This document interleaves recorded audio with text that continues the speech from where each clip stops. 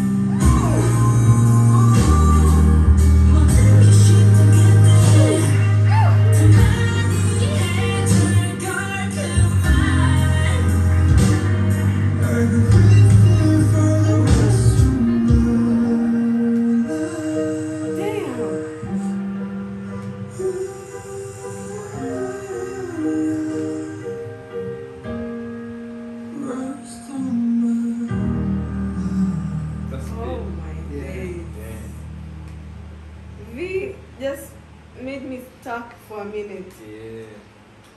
The first part when when he sang, mm-hmm. yeah. I was looking like I thought maybe it could be RM because it's more of a bass. bass yeah. Finding out it's V. Damn.